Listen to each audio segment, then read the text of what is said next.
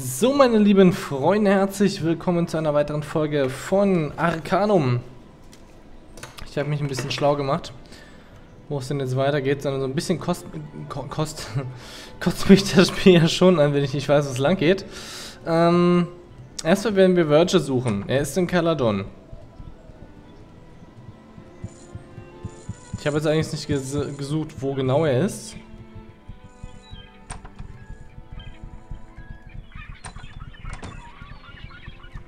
Aber er ist hier irgendwo.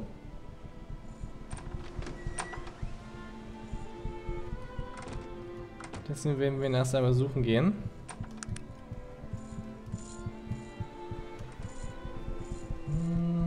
Achso, Stoppo wieder an. Mein Gott, ich vergesse das jedes Mal wieder. Denn ich will ihn ja schließlich bei mir haben, wenn ich weitermache. Hm, ich gehe trotzdem mal hier und gucken. Ich, ich, wie gesagt, ich weiß nicht genau, wo er ist. Aber in der Folge sollte man das hinkriegen.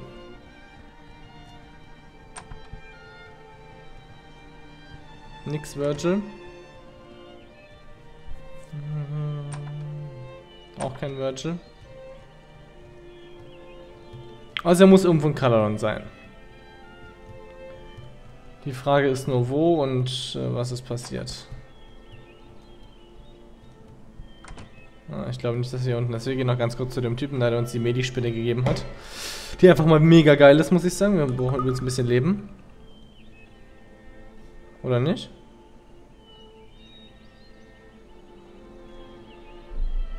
Oh, sie ist Nahkampflehrling. Mehr hat sie aber anscheinend nicht.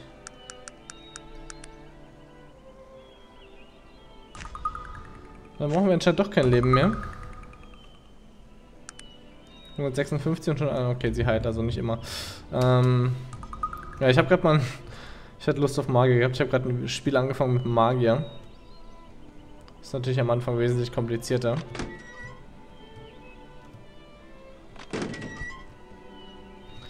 Weil man sich einfach auch um, auch um die Energie kümmern muss. Und ich habe ich hab eine Frau genommen, eine Elfin, glaube ich. Mit Bücherwurm oder so, wo ich eine Intelligenz dazu kriege, jetzt so eine Wahrnehmung verliere. Und die kann man überhaupt gar nicht mit dem Dings umgehen, mit dem Dolch. Ey, die hat so oft kritische Patze. Das ist ja echt traurig. Wo läufst du denn lang? Na gut. Und die hat sich gleich bei den ersten paar Angriffen eine Narbe zugefügt. Das war schon ein wenig traurig. Okay, hier ist auch keiner.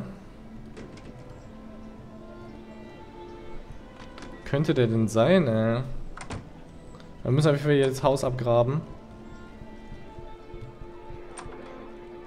Guten Tag.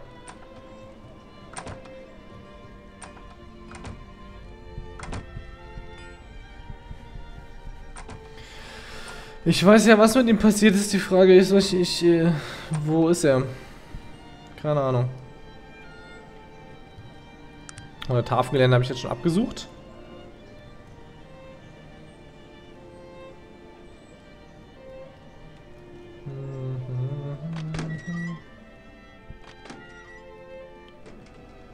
Zur weinenden Zwiebel. Schnief.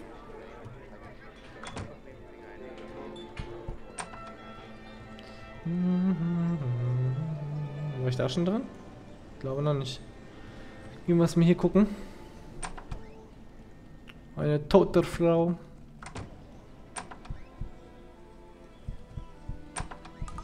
Verschlossen? Hm, da war ich bestimmt schon drin. Ja. Das war das gewesen, wo einfach nichts Wertvolles drin war und er trotzdem alles abgeschlossen hat. Unverständlich.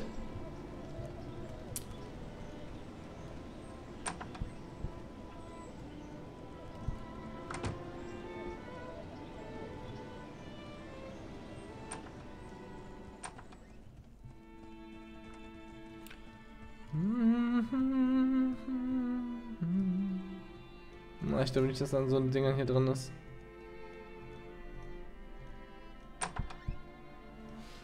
Halte ich für unwahrscheinlich. Ich glaube nicht, dass in der Kirche drin ist. Ich habe das damals mal gewusst, wo er ist. Damals.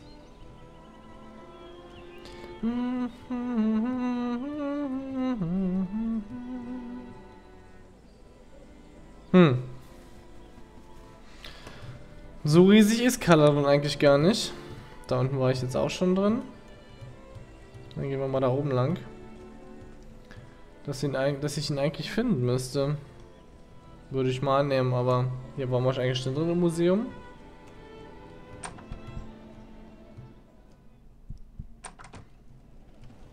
Und hier war ich eigentlich auch überall drin. Den kleinen Gnom habe ich gekillt. Die kleine Drecksau. Hier war ich doch überall drin gewesen.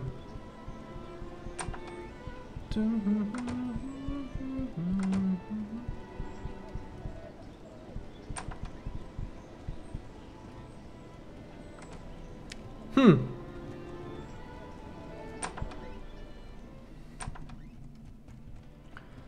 Wobei in der Kanalisation... Nein, das glaube ich nicht.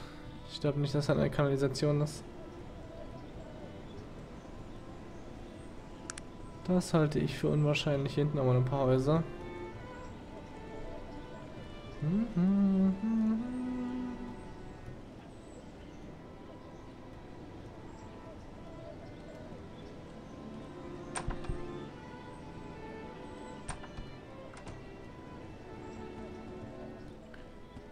Sind die Tiere nachgespawnt, die ich getötet habe? Habe ich nicht irgendjemand gekillt? Ein Tiger oder so? Ah ne, der Tiger ist nicht mehr da. Der war hier unten drin, neben dem Bär. Ah, ich glaube, ich kann Virgil abschreiben. Ich habe Beweise für eine Stunde, die euch interessieren könnten. Was meint ihr mit Verschwörung? Soll das eine Art Witz sein? Die Industrieverband züchtet illegal Halboger. Sagen wir, ich wäre an der Story interessiert, dann bräuchte ich aber einen Beweis. Den habt ihr hier, genau hier. Du zeigst ihm das Tagebuch. Bei den Göttern, das ist verblüffend. Mit einer Story wie dieser kann ich mir einen Namen machen. Wenn ihr mir das Tagebuch überlasst, drucke ich es in vollem Umfang. Das wird die Story des Jahrhunderts. Was würdet ihr mir dafür zahlen? Was? Macht ihr Witze? Beim Gehalt eines Journalisten? Ich könnte euch 100 Münzen geben. Was meint ihr? Naja, gut. Unfassbar, darauf habe ich die ganze Zeit gewartet. Ich schreibe sofort einen Artikel darüber, damit es morgen in der Zeitung steht. Ich habe nicht mal Erfahrung dafür bekommen. Ernsthaft? Drecksack.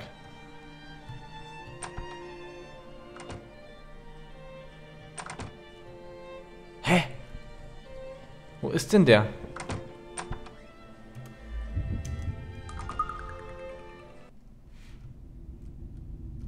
glaube nicht, dass Verge hier unten ist.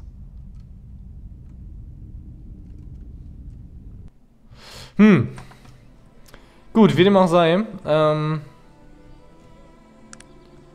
Verge hat ein dunkles Geheimnis. Das eigentlich hätte... Äh, ich verstehe es nicht. Warum er nicht hier ist. Also er ist in Kaladon, aber er ist tot. Der hat halt Spielschulden. Daran kann ich mich, also als ich es gelesen habe, konnte ich mich daran echt noch erinnern. Der hat Spielschulden gehabt und wurde umgebracht.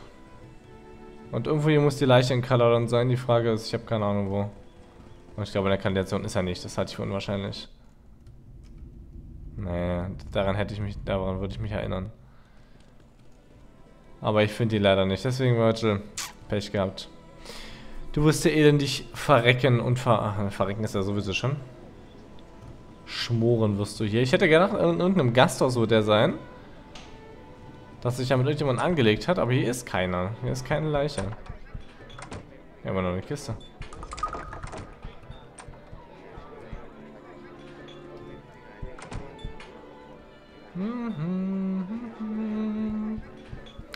Also, ich, ich sehe ihn nirgendwo. Auch nicht in irgendwelchen Gassen oder so. Auf dem Friedhof ist er auch noch nicht. Warte, ich finde dich nicht. Ich gebe die Suche auf nach dir. Vielleicht bist du ja doch nicht in Caladon. Wer weiß das schon.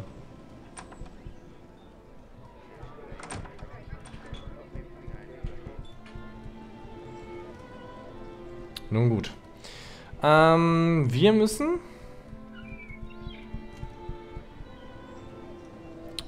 Nach Quintara. Habe ich gelesen.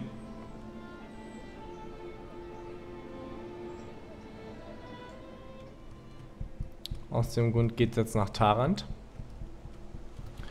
Auf die Idee wäre ich halt auch nie gekommen, da jetzt hinzugehen, also... Das Spiel ist mir zu hoch. Ein paar Tipps wären dann noch schon ganz praktisch, aber das hatte ich halt auch schon wieder vergessen. Ist halt auch schon wieder für mich gut ein, zwei Wochen her, seitdem ich das letzte Mal gespielt hatte, seit dem einen Mal. Aber anscheinend müssen wir mit der Silberfürstin reden. Also mit der Mutter von Ravenna. Vielleicht können wir sie jetzt ja mitnehmen. Das kann ich ja theoretisch wieder. Weil ich glaube, der Hund ist noch mit dabei. Ich glaube, eins ist immer noch Maximum. Das habe ich mir aufgeschrieben. Also man hätte aber Virgil wiederbeleben können.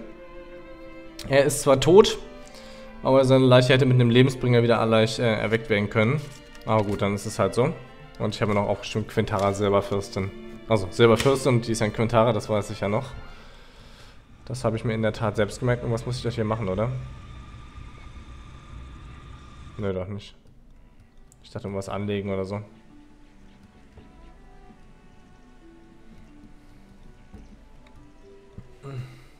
Aber hoffen, dass das was bringt. Hallo. Sicher. Ich bringe Informationen über das Dorf der Dunkelelfen. Ich bin ja so froh, dass ihr zu uns zurückgekehrt seid. Habt ihr das Dorf der Dunkelelfen gefunden? Was ist passiert, seit ihr uns verlassen habt? Ich bin nach Taran gereist und du erzählst dir, wie du Zernan gefunden hast. Ah, Mingorat ist also eine Frau. Ich würde sie sehr gern kennenlernen. Es dürfte schwierig sein, ein Treffen zu arrangieren. Ich habe sie umgebracht. Ihr habt sie umgebracht? Das ist wahrhaft bedauerlich, wenn man das Wesen des Elfenlebens bedenkt. Das war wirklich gut.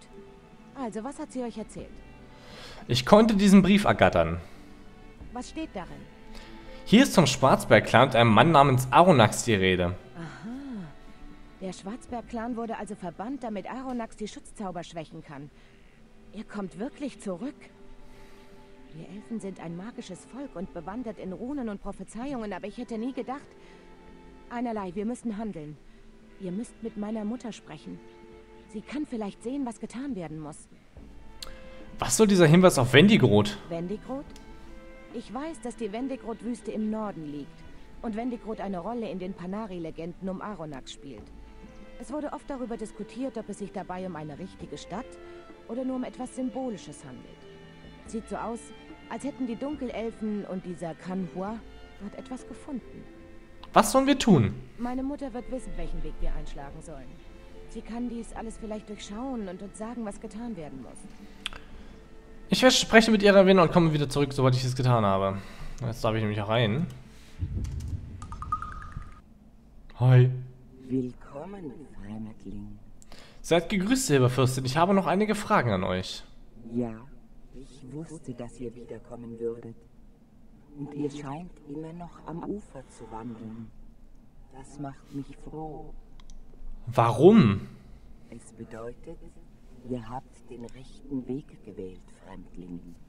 Zumindest den rechten in der Weise, wie ihr die Dinge seht. Ich freue mich für euch. Darf ich euch etwas fragen? Natürlich.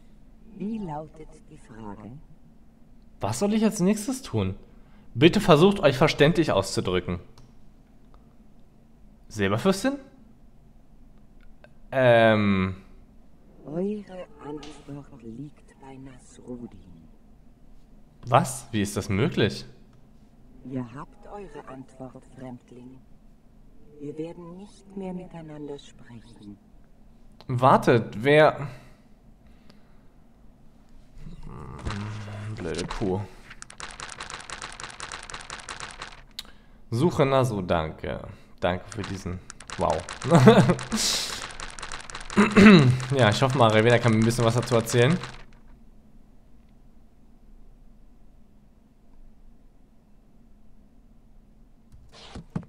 Hm.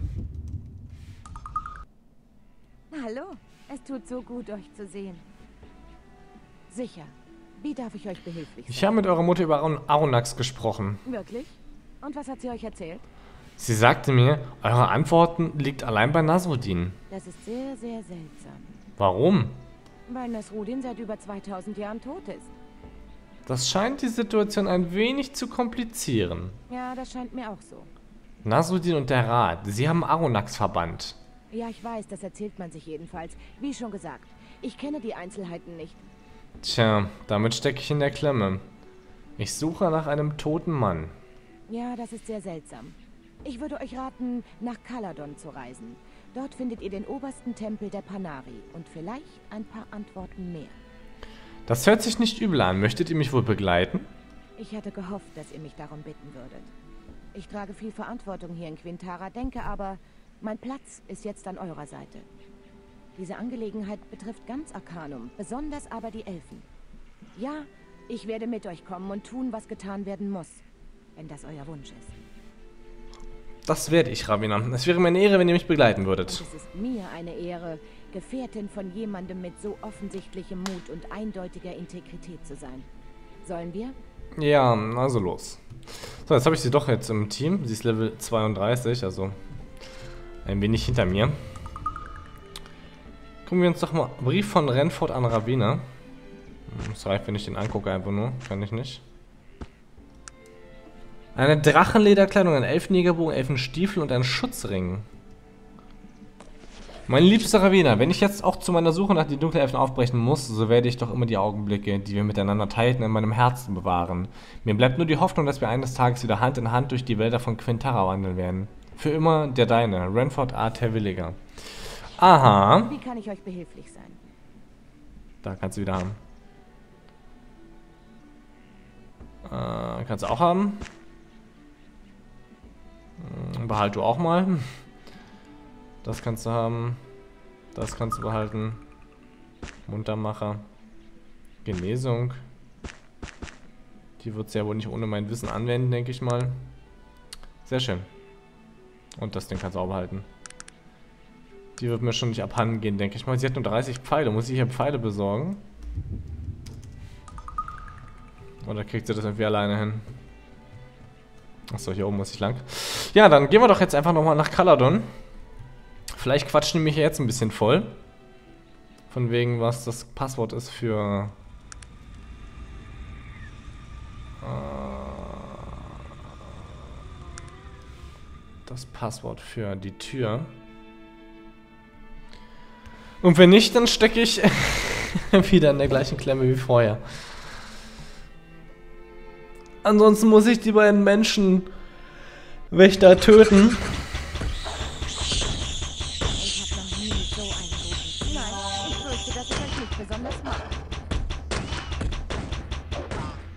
Hä?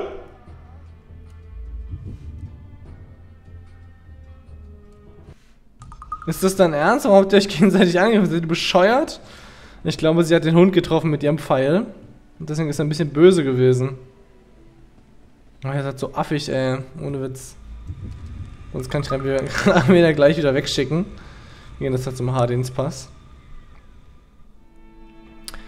Aber Mann, seid ihr dumm. Ja, Pfeile sind natürlich ein beschissenes äh, Werkzeug zum Kämpfen. So, damit wir den Weg nicht schon mal umsonst gelaufen sind.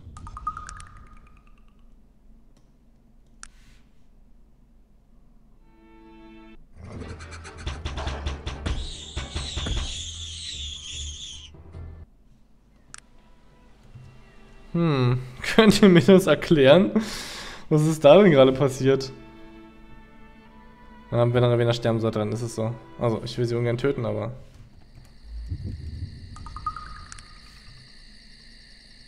Steht sie jetzt ja nett?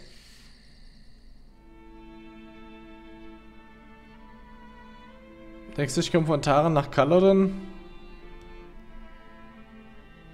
Sagen wir bestimmt wieder, wir haben kein Boot, ihr Penner. Jetzt kommt ja ein einziger Gegner wieder mehr. Versuchen es mal.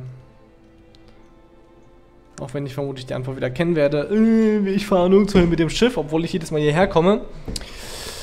Äh, ja, aber es gibt bestimmt noch ein anderes Schiff.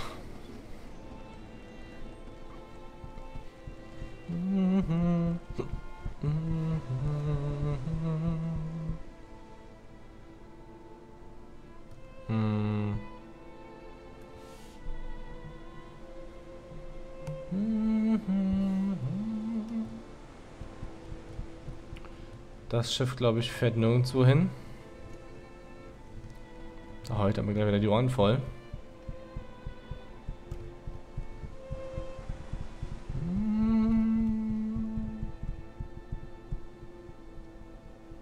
Ach doch, auf einmal. Hä, bist du doof oder so? Muss ich dazu irgendwas sagen? So, ich bin wieder in Kaladon. Yay. So schnell sieht man sich wieder. Ja, Wirt, ich habe dich einfach mal ersetzt. Ich hoffe, du kriegst es mit.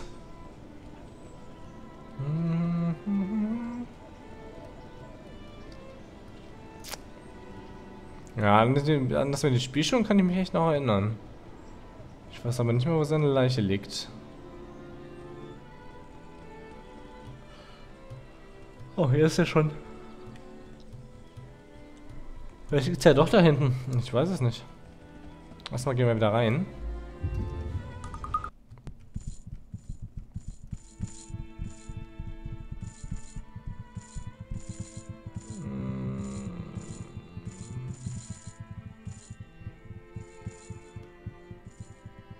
Okay.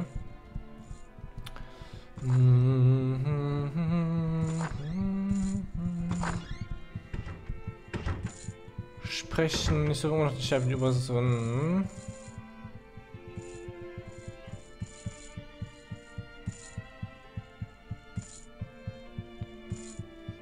Ha.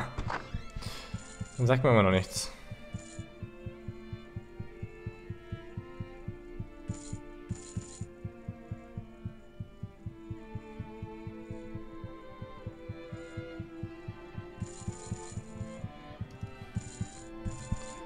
Gut, wir gehen nochmal hin. Ansonsten weiß ich echt nicht, was sie machen sollen. Pilgergewand bräuchte ich dann vielleicht noch.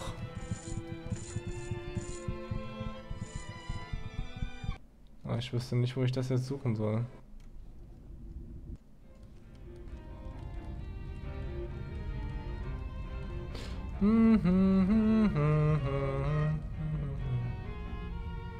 Ja, sieht langsam knapp aus mit den Pfeilen.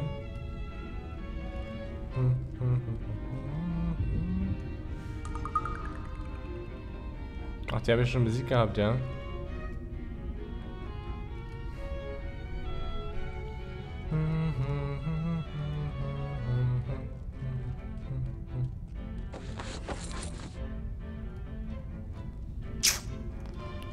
Mm -mm, mm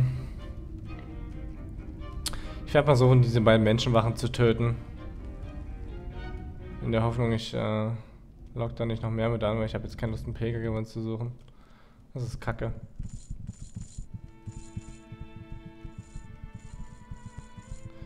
Hm, eigentlich dürfte ich die in Ruhe killen können. Wir hier hinten sollten das nicht sehen. Und Schaffer-Revier hat nichts dagegen. Ist okay, oder? Ich würde gerne den Grab besichtigen. Ah, doch ein Pilgergewand, ja. Ah, ich versuche sie mal zu töten, ansonsten muss ich mir wirklich irgendwo ein Pilgergewand besorgen, das ist doof.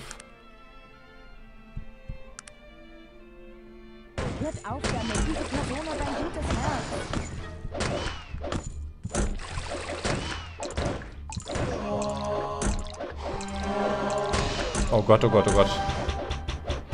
Ach, jetzt fängst du an anzugreifen, du blöde Kuh, ja?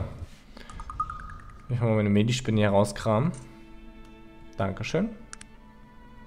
Hört auf, hört auf damit. Diese Person hat ein gutes Herz. Oh Gott, Medispinne heile mich.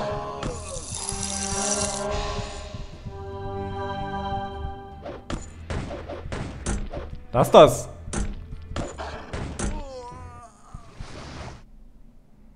Dankeschön, Spinnchen. 83, was haben die bitte für eine Waffe, ey? Ravina sonst einfach nur rumzuheulen. Schlüssel zu Nasudins Grab.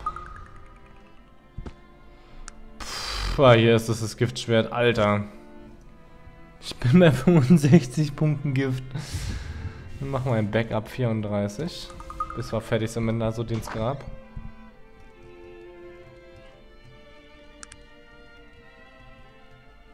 Oh. Ah, ich hätte einen Pilgergewand aber nur gebraucht. Was steht da? Im Sarkophag liegt ein Skelett, das mit einem zerlumpten Gewand bekleidet ist. Dem Skelett fehlt ein Finger. Schädel aus dem Grab von Nasruddin. Und hier haben wir noch auf dem Sarkophagdeckel etwas Blutiges. Und das sieht aus wie dieser Steinkreis in Roseboro. Oh, hier ist eine, ein Durchgang. Aha. Was ist da denn hinten? Ah. Gut, hier bin ich jetzt auf der anderen Seite. Da wäre ich jetzt also lang, lang gekommen. Geh noch kurz gucken, was hier hinten ist. In der Kanalisation. Ist das dein gottverdammter Ernst? Ich hätte die gar nicht töten müssen. Hier hinten ist noch ein verdammter Durchgang.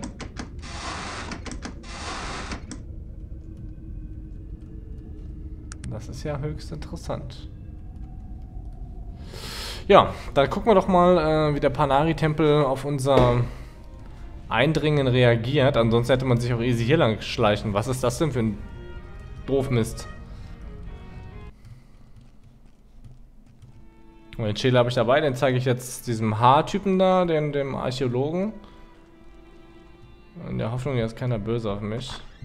Reaktion normal. Und will mich auch keiner töten, alles gut. Keiner ist hier gehässig. Ich bin aus der Gruft zurück. Wunderbar, komm her, erzählt mir, was ihr gefunden habt. Ich habe den Schädel geborgen und habe interessante Entdeckungen gemacht. Der Schädel? Wunderbar. Bitte, darf ich einen Blick darauf werfen?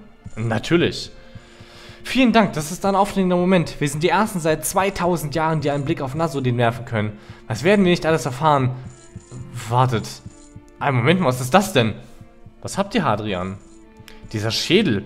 Ihr sagt, das ist der Schädel aus dem Sarkophag in der Grabkammer? Seid ihr sicher? Ja, ganz sicher. Was ist denn nur los? Dieser Schädel. Das ist kein Elf. Das ist der Schädel eines Menschen. Das ist unmöglich. Ich habe nur noch andere seltsame Dinge gesehen. Was? Was habt ihr gesehen? Mir ist aufgefallen, dass dem Skelett der rechte Finger fehlt. Okay. Einer seiner rechten Finger? Ihr wisst, was das bedeutet. Oh nein, das kann nicht sein. Was, Hadrian? Wovon redet ihr? Einer der Gegenstände, die ich hier habe, ist der Finger von Manox. Eine Legende rankt sich darum, man wusste nie genau, ob es tatsächlich der Finger des großen Heiligen war. Es sieht so aus, als könnte er tatsächlich sein. Es könnte er es tatsächlich sein. Wollt ihr damit sagen, dass der Tote in dem Sarkophag Manox ist? Ich weiß nicht so recht. Du lieber Himmel.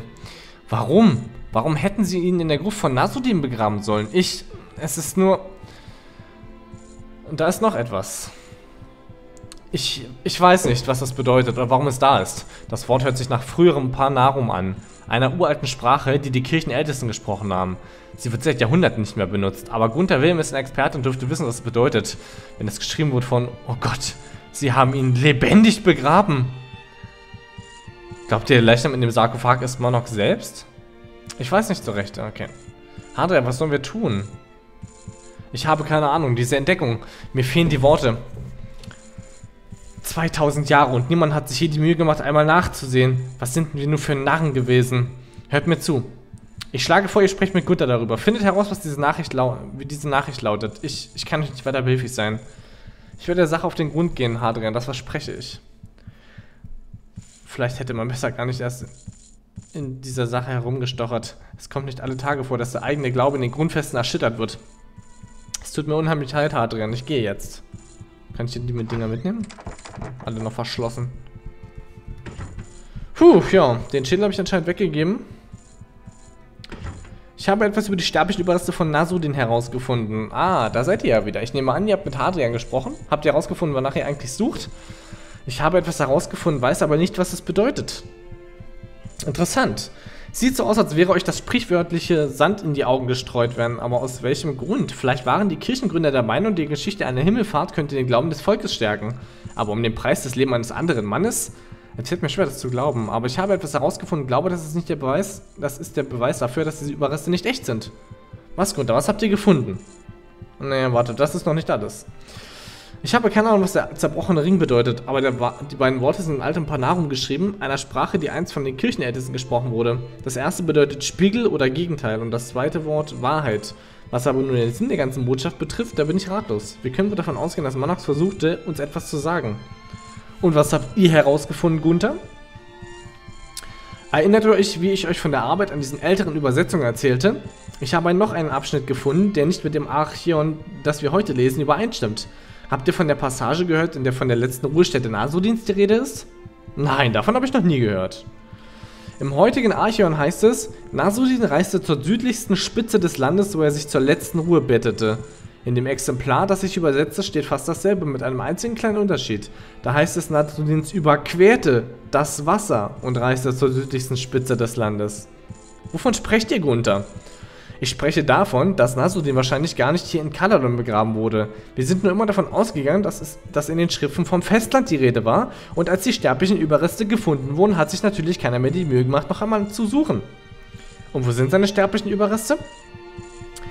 Die südlichste Spitze aller Gegenden Arcanums ist die Insel Thanatos, südlich von hier.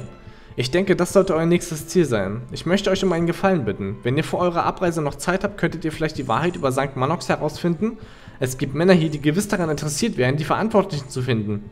Das werde ich dann wohl auch tun, aber warum haben sie das all eurer Meinung nach wohl getan? Das weiß ich auch nicht. Vielleicht ist etwas an den echten sterblichen Überresten von Nazudin, vor dem sie Angst haben. Ihr solltet seine letzte Ruhestätte finden und dort werdet ihr, denke ich, auch eure Antworten erhalten. Das werde ich, Gunther. Vielen Dank und einen schönen Tag noch. Ah.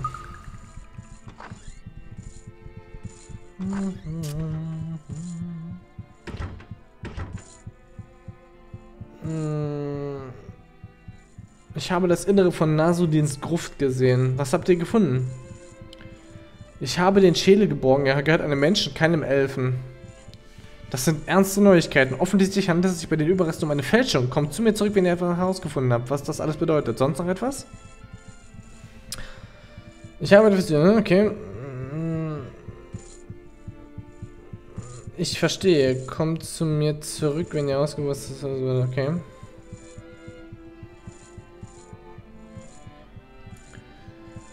Gunther hat noch weitere Diskrepanzen im Archeon gefunden. Sieht so aus, als wären wir alle einer, Täusch alle einer Täuschung aufgesessen.